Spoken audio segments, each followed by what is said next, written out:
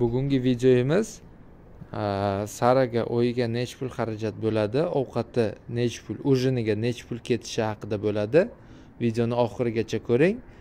Video oxirida man hisoblab aytganman necha pul nimani necha puldan olaman va necha pul xarajat qilaman va qanaqa ovqatlar beraman. Video davomida siz ko'rishingiz mumkin bilishingiz mumkin itga nima ovqat berish kerak Э, tovuqni qanaqa suyagini itga bermasligi kerak va э, kichkina bir oylik ikki oylik alabay bolasiga nima uchun go'sht bermaslik kerak yo go'sht berish kerakmi? O'sha haqida э, videoda to'liq ma'lumot berganman. Iltimos videoni oxirigacha ko'ringlar. Videoni oxirigacha ko'rishni tavsiya etaman. Чтоб o'zingizga ham itingizga ham judayam yaxshi bo'ladi.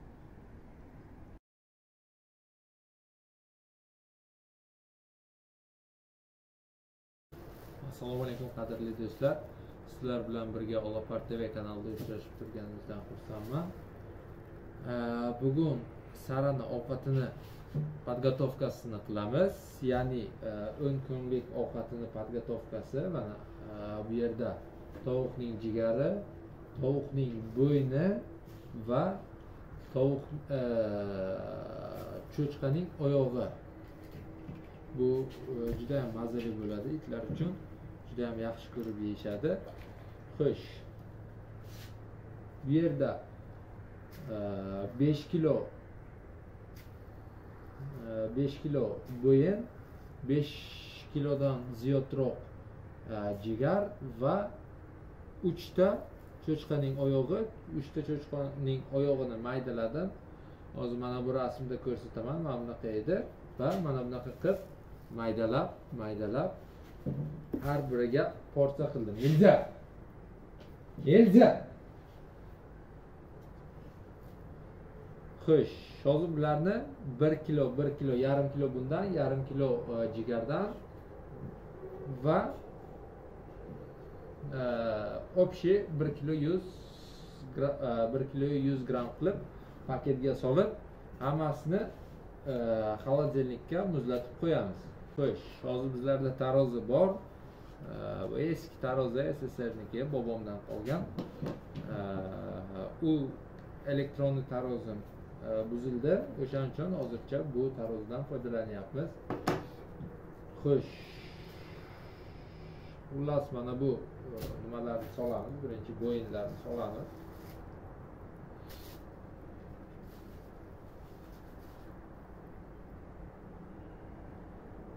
Uchta soldik bu приблизительно bilmayman necha gramm bo'lyapti bu ikki yuz uch yuz gramm bo'lyapti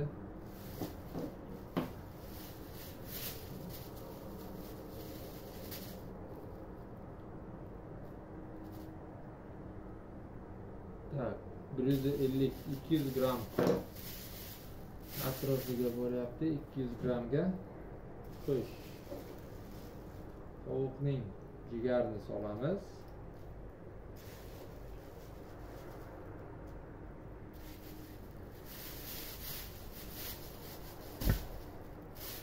Va e, bu e, cho'chqa oyog'idan uchta olgandim uchtani e, nima deydi bo'lib mana shu holatga keldi va hozir har bitta paketimga bittadan bitta bu bunisidan bitta bunisidan solaman. Va buni o'lchab ko'ramiz agar bir kilo bo'lgan bo'lsa og'izni yopib qo'yamiz.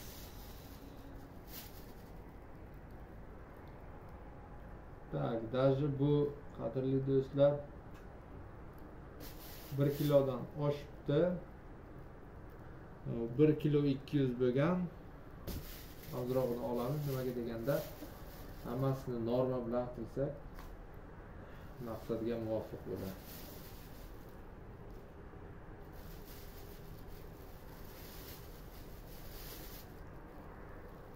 Mana bo'yimiz mana. Bir kilo может bir kilodan ozroq ko'p bo'ldi lekin bir kilo aniq. Bittasi tayyor bu bittasini olamizda mana bunday qo'yib turamiz keyin e, ichiga qo'yamiz. Xullas do'stlar mana shu ovqatimiz hozir bizlarga nechi pulga tushyapti nechi pulga tushadi degan savol bo'ladi. O'zi it boqayotgan paytingiz it olayotganingizda e, zotini bilib olish kerak. To qaysi zot olmoqchisiz va nima uchun olmoqchisiz? E, agarda itni zotini olaman desangiz yoki Э, urushtirishga bo'lsa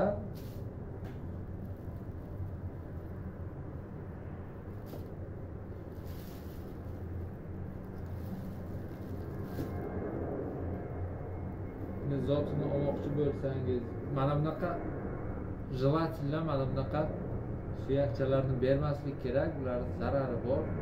Nimaga deganda bu kichkina suyakchalar mana bunaqa joylari mana bunaqa joylari yoki mana o'rtasidan sindiradida shu nimalarga e, zarari bor buni bermaymiz mana bunaqa bo'yinlardan bo'lsa bo'yinlari juda ham yaxshi xo'sh temamizdan o'tib ketdik it olayotganingizda jelatildan zotni yaxshi o'rganib nima uchun olmoqchisiz nimaga kerak sizga it faqat охранalik uchunmi yo просто do'st uchunmi e, yoki e, urushtirish zotini olish uchun. Ha odam har xil e, nimada oladi? Man sarani olganim zotini olish va nima deydi охрана uchun uchastkamizda oldin hech kim yo'q edi sarani o'zi yurar edi. O'shaning uchun aqlanalik uchun ham olganman. Zotini yaxshi olish uchun itni yaxshi boqish kerak. Itni yaxshi boqmasangiz zotini ololmaysiz siz e, xohlagandek bola bermaydi. O'shaning uchun e, желательно alabay itlariga ko'proq e, go'sht mahsulotlaridan berish kerak.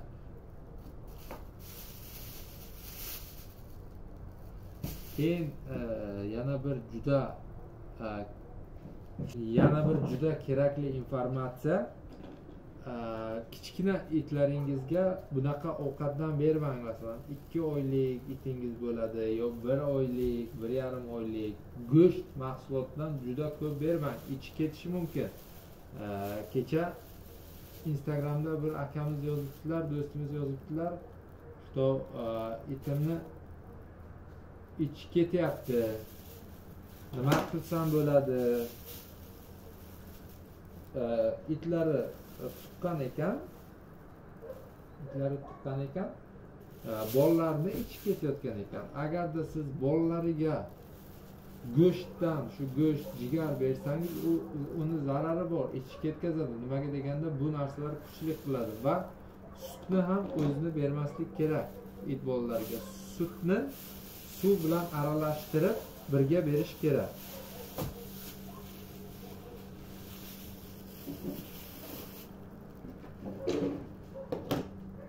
Va yana bir ma'lumot. Shu boyagi it olish temasi. Itni qaysi zotini olmoqchi bo'lsangiz nima zoti sizga kerak bo'lsa birinchi bilish kerak. Masalan ba'zi oilalarda kichkina bola bor. Ba'zi bir oilalarda uyda ko'p kirdi chiqdi bo'ladi. Ularga охрана uchun it kerak bo'lmaydi. Bunaqalar uchun labrador zoti olsa judayam yaxshi. Labrador zoti begona odamlarni tishlamaydi. U odamlar bilan o'ynashni yaxshi ko'radi.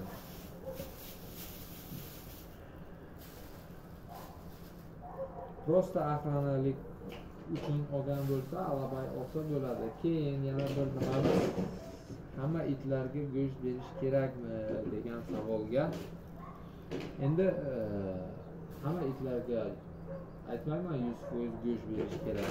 Endi hamma o'zini nimasidan ko'rib beradi. Lekin e, kattaroq itlarga ko'proq go'sht bersa bu maqsadga muvofiq. Nimaga? Itingiz yaxshi o'sadi semiradi. Va siz xohlagandek it bo'ladi.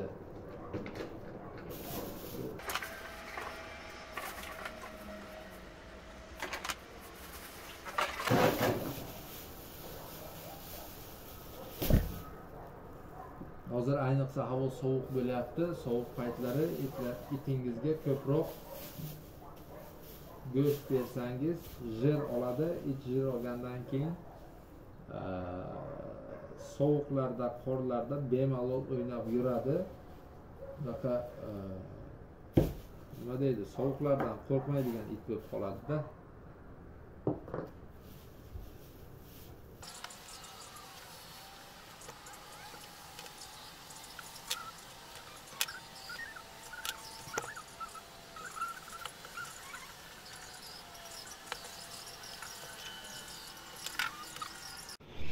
Xullas do'stlar mana e, paket qilib qo'ydik. Bir ikki uch to'rt besh olti yetti sakkiz to'qqiz o'nta bo'ldi. O'n kilo. E И plyus oyoqchalardan. Xullas do'stlar mana bularni e, itimizga bermasligimiz kerak. Nimaga deganda mana bunaqa suyakchalari bo'ladi. Bunaqa suyakchalar mana bunaqalar. Bularni it sog'lig'i uchun zarari bor. O'zim itimga berib ko'rganman ovcharkamga o'shaning uchun e, bularni berishadi berishmaydi emas berayotganlar ham bor. Но нежелательно bermaslik kerak buni zarari bor. Желудкасы uchun zarari bor. Sizlarga ko'rinmaydi lekin judayam перебор qilib yuborsangiz zarari zarari paydo bo'ladi. Hozir mana bularni o'nta bo'ldi. Bu o'n kunga bittasini agarda buni bugun bersak qolgan to'qqiztasi to'qqiz kun beramiz. Buni hozir yaxshilab морозильник холодильникni морозильникiga olib qo'yishimiz kerak. Чтоб hidni paydo bo'lmagan bo'lmasligi uchun va yomon bo'lmasligi uchun bu sarani холодильники bu shu sarani go'shtini olib qo'yish uchun mana ichiga qo'yamiz. O'ntani hammasini hozir terib qo'yamiz. Xullas do'stlar mana e, to'qqiztani qo'ydik.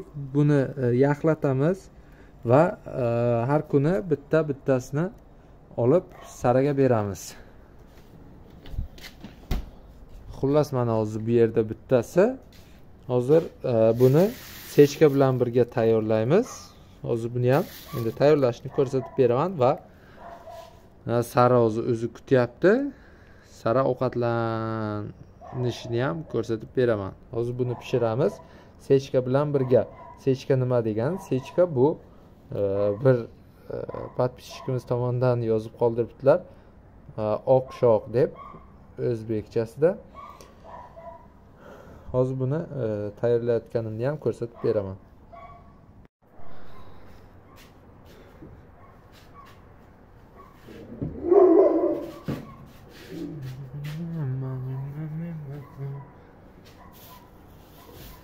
xo'sh qadrli do'stlar mana hozir e, birinchi solayotgan narsamiz. Go'shtni solamiz. Go'shtni solamiz.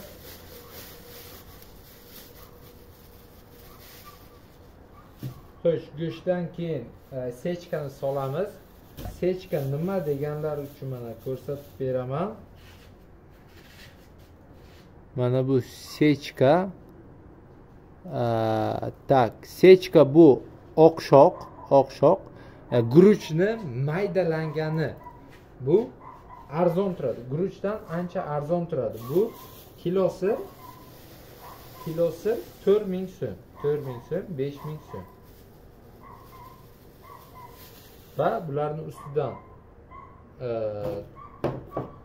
tuz aytib o'tganimdek oldingi videolarimda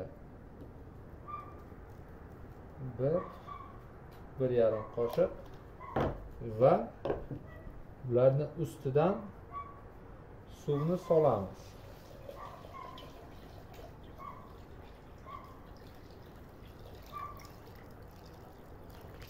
Va buni olovda qaynatamiz. Hozir mana shu ovqatimiz bizlarga necha pulga tushdi? Bu ovqatimizni hozir hisoblab beraman. Tak. Tovuq shayani kilosi sakkiz ming so'm turadi. Jigar tovuqni jigarini kilosi o'n ming so'm turadi. Cho'chqa oyog'ini man donasi o'n ming so'mdan oldim. Cho'chqa oyog'ini hozir e, yarimni soldik desak yarmi ertasi kungi nimaga bo'ladi? Xo'sh hozirgi buni hisoblaymiz. Yarim kilo jigarimiz besh ming so'm. Yarim kilo shayamiz to'rt ming so'm to'qqiz ming so'm. Va e, cho'chqani oyog'ining yarmi besh ming so'm to'qqiz ming besh ming o'n to'rt ming so'm. O'n to'rt ming so'mga guruch где то bir yarim ming so'm deyaylik o'n besh ming so'm. o'n besh ming bitta sarani ujiniga o'n besh ming. Agarda ustiga bitta yoki ikkita tuxumni sindirib bersak agar bir yarim ming so'm o'n o'n sakkiz ming so'm bo'ladi ikkitasini sindirib bersak agar. Sarani bitta ujini o'n sakkiz ming so'mga tushyapti. Agarda buni ham har kun bermaymiz. Bu e, endi через день bersak ham bo'ladi. Bir kun qorin qorin sal arzonroq turadi. Bu sal qimmatroqqa tushyapti. Qorinni bir e, tanishdan olaman yetti ming sakkiz mingdan u ham beradi.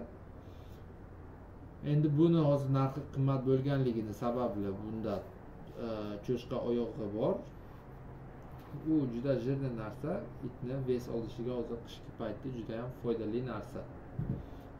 Xullas u yoq bu yoq itimizga kuniga yigirma ming so'm xarajat oyiga olti yuz ming so'm xarajati bor. Faqat bu ужiniga agarda завтрак завтраkiga yo suxoy korm yo nima bersangiz u yoq bu yoq sakkiz yuz ming to'qqiz yuz ming so'm plyus ketadi. Agarda zo'r semiz qilib zo'r boqaman desangiz zo'r adushi boqaman desangiz даже bir million pulingiz ham indamay itga ketishi mumkin. Hozir buni endi olib borib olov ustiga qo'yamiz. Qadrli do'stlar mana e, ovqatimizni olov ustiga qo'ydik. Olovimiz baland ham emas past ham emas средний qilib qo'yamiz. Va buni e, где то qirq besh daqiqa bir soat qaynashini kutamiz. Mana qadrli do'stlar bir soat vaqt o'tdi. Mana ovqatimiz tayyor bo'ldi. Где то yigirma yarim soatlarda gazni tagini past qilib qo'ydimda. Mana yana yigirma daqiqa qaynadi mana. Ovqatimiz tayyor. Hozir buni olib qo'yib sovutib keyin saraga beramiz. Qadrli do'stlar mana ovqatimiz tayyor. Sara ham kutyapti. Sara можно